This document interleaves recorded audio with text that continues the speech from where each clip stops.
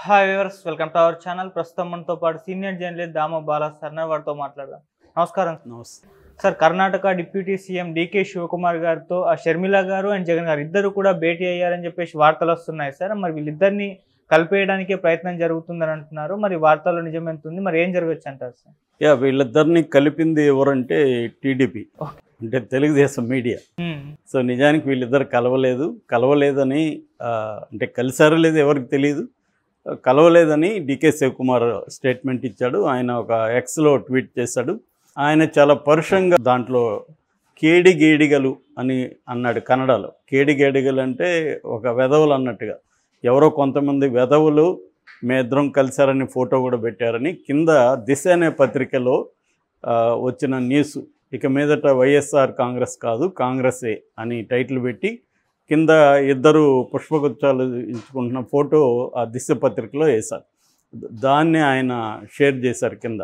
కింద చేసి పైన కొంతమంది ఇలాగా కేడిగేడిగలు అంటే దాన్ని స్కౌండ్రల్స్ అని కూడా అనువదించారు.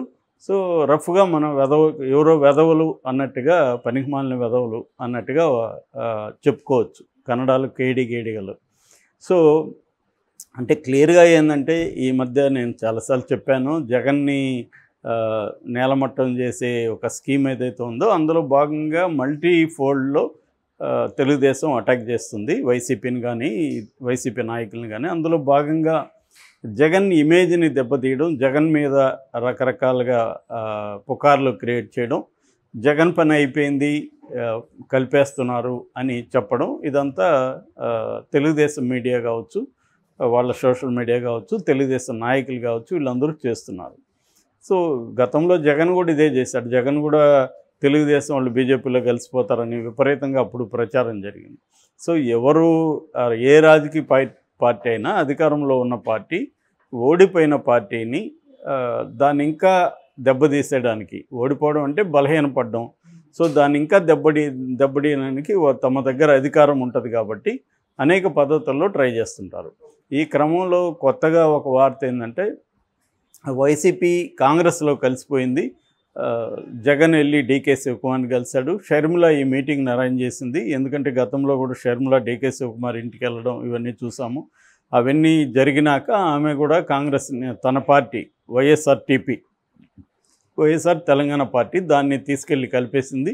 చెల్లి కలిపింది కాబట్టి ఇప్పుడు అన్న కూడా కలిపేస్తాడు అని ఒక నెరేటివ్ని తీసుకొస్తున్నారు. సో అందుకని అక్కడ పైగా జగన్ కర్ణాటకలో ఉన్నాడు. బెంగళూరులో యలహంకలో అతని భవనం ఉంటుంది. అక్కడ ఉన్నాడు జగన్. అందుకని అక్కడ ఉన్నాడు కాబట్టి అక్కడికి సంబంధించిన కథనాల్ని ఊహా కథనాల్ని తెలుగుదేశం మీడియా ప్రచారం చేస్తుంది. ఓకే. సో దీన్ని ఖండిస్తూ డీకే శివకుమార్ ప్రకటించాడు. ఎందుకంటే అది అతనికి కూడా ఇదవుతుంది. కాంగ్రెస్ అధిష్టాన నాడ్ లేకుండా అతను వెళ్ళి కలిసే పరిస్థితి లేదు. సో ఇప్పుడు కా ఒకవేళ కాంగ్రెస్ వైసీపీని వస్తే చేర్చుకుంటుందంటే చేర్చుకోవచ్చు. ఎందుకంటే దాని బలం పెరుగుతుంది ఆంధ్రప్రదేశ్లో. ఖచ్చితంగా కాంగ్రెస్కి అది ఉపయోగమే. జగన్ వెళ్ళి చేరితే. గతంలో జగన్తో విభేదాలు ఉన్నాయి. జగన్ ధిక్కరించాడు అనేది ఉంది. ఇవాళ జగన్ బలహీనంగా ఉన్నాడు కాబట్టి జగన్ వెళితే వాళ్ళకి హ్యాపీనే. ఎందుకంటే వాళ్ళు నెక్స్ట్ రాహుల్ గాంధీ ప్రధానమంత్రి కావాలనేది వాళ్ళ కోరిక. దగ్గరికి వచ్చి ఆగిపోయింది ఈసారి. అందుకని నెక్స్ట్ ఆంధ్రప్రదేశ్లో కనీసం కొన్ని సీట్లన్నా జగన్తో ఉంటే వచ్చాయి ఎందుకంటే జగన్కి సొంతంగా నాలుగు వచ్చాయి కాబట్టి ఇప్పుడు ఎంపీలు.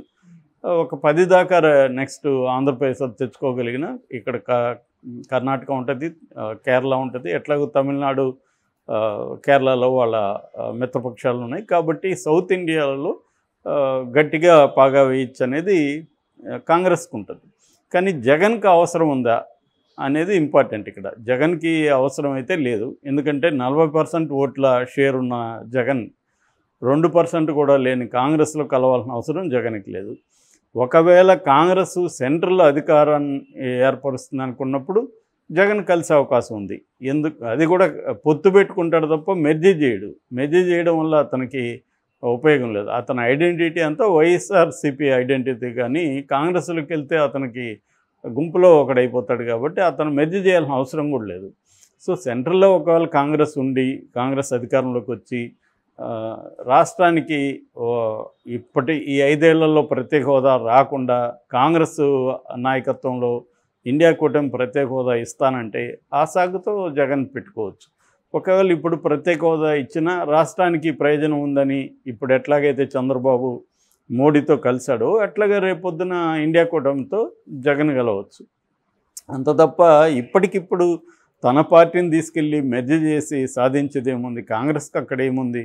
ఆమెకి షర్మల షర్మిల నాయకత్వంలో కాంగ్రెస్ ఒక పర్సెంట్ ఓట్ల షేర్ కూడా ఆమె పెంచుకోలేకపోయింది. కాబట్టి ఇప్పుడు పోయి జగన్ చేసేది ఏం లేదు. రెండవది జగన్ కాంగ్రెస్లోకి వెళ్తే జగన్కి ఇప్పుడు చాలా తీవ్రమైన నష్టం జరుగుతుంది. ఆ నష్టం ఏంటంటే ఖచ్చితంగా బీజేపీ నట్లు బిగిస్తుంది. దాంతో జగన్ జైలుకి పో పోవాల్సి వస్తుంది. కాంగ్రెస్ ఏం కాపాడుతుంది? మహా అంటే వాళ్ళు స్టేట్మెంట్లు ఇస్తారు. ఇది అన్యాయం అని. ఇప్పుడు వాళ్ళ ముఖ్యమంత్రినే వాళ్ళు కాపాడారా? హేమంత్ సొరేన్ జార్ఖండ్ ముఖ్యమంత్రి జైల్లో ఉన్నాడు. వాళ్ళ ఇండియా కూటమిలో భాగంగా ఉన్న కేజ్రీవాల్ జైల్లో ఉన్నాడు. వాళ్ళు ఏం చేశారు? మహా అంటే మాట్లాడతారు ఖండిస్తారు. అంతకంటే ఏం చేయలేరు కదా. దానికంటే కూడా జగన్ ముందున్న బెస్ట్ ఆప్షన్ ఏంటంటే మోడీతో ఉండడం. అది బ్యాచ్. సో రెండోది ఇప్పుడు రాజ్యసభలో జగన్కి పదకొండు మంది ఉన్నారు. ఇటు లోక్సభలో నలుగురు ఉన్నారు కాబట్టి మోడీకి కూడా జగన్ అవసరం ఉంది కాబట్టి జగన్కి మోడీతో ఉండడం అవసరం తప్ప కాంగ్రెస్లో విలీనం కావడం అవసరం లేదు. సో ఇది మరి ఇది తెలియదా తెలుగుదేశం మీడియాకి? ఇప్పుడు దిశ అనే పత్రిక కూడా తెలుగుదేశంని సపోర్ట్ చేసే మీడియానే పత్రిక అది నో డౌట్. సో ఇది తెలియదంటే తెలిసినా వాళ్ళు వాళ్ళ కొంతకాలం నుంచి ప్రజలు నమ్మినా నమ్మకపోయినా మనం చేసే పని చేస్తూ ఉన్నామని చేస్తున్నారు అది సక్సెస్ కూడా అయ్యారు. ఎందుకంటే గోబెల్స్ అని హిట్లర్ కాలంలో ప్రాపగండా ఇన్ఛార్జ్ ఉండేవాడు. ఆయన ఫిలాసఫీ ఏంటంటే ఒక అబద్ధాన్ని వంద సార్లు మనం ప్రచారం చేస్తే అది నిజమని నమ్ముతారు అనేది అతని ఫిలాసఫీ. దాన్ని ఇప్పుడు అన్ని పార్టీలు అన్ని పార్టీల మీడియా ఇదే ఫాలో అవుతుంది. సో మనం అబద్ధం చెప్పదలుచుకుంటే చెప్తా ఉంటే నమ్మేవాడు నమ్ముతాడు కదా కాంగ్రెస్లో కలిసిపోతుందని ఇంత లాజికల్గా ఆలోచించే వాళ్ళు తక్కువ మంది ఉంటారు. అంటే పొలిటికల్ పరిస్థితి ఏంటి నేషనల్ వైడ్ ఏంటి రాష్ట్రంలో ఏంటి జగన్ ముందున్న ఆప్షన్స్ ఏంటి ఇవన్నీ లోతుగా అందరికీ తెలియవు కదా సామాన్య ప్రజలకి. కాబట్టి జనంలోకి వెళ్ళిపోతుంది మెల్లగా. ఆ రకంగా జగన్కి అయిపోయింది జగన్ పని అయిపోయింది జగన్ పని అయిపోయింది అన్న నెరేటివ్ని బలంగా జనంలోకి తీసుకెళ్తే జగన్ రివైవ్ కావడానికి కష్టమవుతుంది అనేది తెలుగుదేశం క్యాంపుకు ఉండే ఒక అండర్స్టాండింగ్ దానివల్ల వాళ్ళు ప్రచారం చేస్తుంటారు. నమ్మేవాళ్ళు నమ్ముతుంటారు. దాని రిజల్ట్ ఎలా ఉంటుందని మనకు తెలియదు ఏదేమైనా అదే పత్రిక తెలుగుదేశం పత్రిక అయిన ఆంధ్రజ్యోతి రాధాకృష్ణ రాసినట్టుగా ఈ గవర్నమెంట్ పని విధానాన్ని బట్టే జగన్ భవిష్యత్తు ఉంటుంది ప్రధానంగా. ఈ గవర్నమెంట్ పని విధానం ఎలా ఉంటుంది దానికి జగన్ రియాక్షన్ ఎలా ఉంటుంది అనేది ఇంపార్టెంట్. అంటే ఇప్పుడు వీళ్ళు చంద్రబాబు అనేక హామీలు ఇచ్చాడు. పెన్షన్ అయితే ఎన్టీఆర్ భరోసా పెన్షన్ అని పేరు పెట్టి దాన్ని అయితే బ్రహ్మాండంగా అమలు చేస్తున్నారు. ఖచ్చితంగా ఆ విషయంలో చంద్రబాబుని మెచ్చుకోవాలి. సో ఏడు వేలు ఇస్తున్నారు. ఈ అంటే నాలుగు వేలు పెంచారు. ఈ మూడు నెలలకు కూడా ఒక వెయ్యి వెయ్యి చొప్పున కలిపి మూడు ఏడు వేలు ఇస్తున్నారు. చంద్రబాబు ఈరోజు పెనుమక అనే ఒక గ్రామంలో మొదలుపెట్టాడు. సో కానీ ఇది కన్సిస్టెంట్గా అరవై ఐదు లక్షల మందికి ఇస్తారా? ఇది మెల్లగా స్టార్ట్ చేసి మెల్లమెల్లగా డైల్యూట్ చేస్తారా? అనేది చూడాలి. అట్లాగే మిగతా బస్సు ఉంది. ఇప్పటివరకు ఫ్రీ బస్సు గురించి మాట్లాడట్లేదు. అట్లాగే వాలంటీర్స్ విషయం. ఆల్రెడీ ఎమ్మెల్యేలు కొంతమంది ఏమో వాలంటీర్లు అవసరం లేదనేది మొదలుపెట్టారు మెల్లగా. సో క్లియర్గా వాలంటీర్లను పక్కన పెట్టేది కనిపిస్తుంది.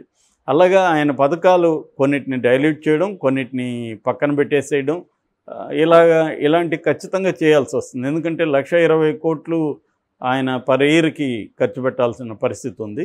సో బడ్జెటే మూడు లక్షలు. మిగతా ఉద్యోగుల శాలరీలు ఇవ్వాలి రన్నింగ్కి ఇవ్వాలి అమరావతికి కట్టాలి. సెంట్రల్ నుంచి ఎంత ఫండ్స్ వస్తాయనేది ఇప్పటివరకు ఏం క్లారిటీ లేదు. వాళ్ళు మిగతా రాష్ట్రాల కంటే ఎక్కువగా ఇచ్చే పరిస్థితి ఏం లేదు ఆంధ్రప్రదేశ్కి. ఏమన్నా ఇవ్వాలంటే ప్రత్యేక ప్యాకేజు ప్రత్యేక హోదానో ప్రకటించాలి తప్ప అది లేకుండా ప్రత్యేకంగా ఆంధ్రాకి ఎక్కువ ఇస్తే అక్కడ బీహార్ ఉన్నాయి ఇతర మిత్రపక్షాలు ఉన్నారు వాళ్ళు కూడా గొడవ చేస్తారు. కాబట్టి. దాన్ని బట్టి జగన్ రియాక్షన్ బట్టి జగన్ ఎంత నిలబడతాడు ఈ ఫైటింగ్లో అనే దాన్ని బట్టి జగన్ భవిష్యత్తు ఆధారపడి ఉంది. Okay sir. Thank you so much